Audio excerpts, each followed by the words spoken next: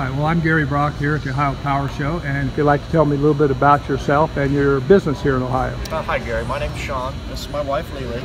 Uh, we're with Ben's Mustard. Uh, we're from Kingston, Ohio in Ross County. Uh, we've been making mustard now for probably 15 years, selling it. Uh, ben is like my father. It's a complete family-run business. Uh, here at the Power Show, I think this will make our ninth or 10th year here at the Power Show. Um, you know, we do mustard, we have barbecue sauce. Our new product this year is a meat rub. We've got a six pepper seasoning, apple jelly, pepper jelly, and a sweet powder mustard. Uh, we are members of Ohio Proud. You see our banner.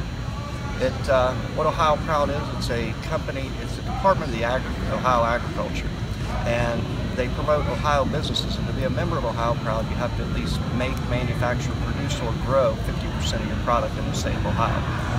Now, when you join Ohio Proud, you also can also have access to use their label, their logo, which indicates that your product qualifies under their under their program. So when you see this logo and you're out shopping, please think twice about buying this product because you're supporting a fellow Ohioan. So, but hey, thank you. all right, well, thank you so much.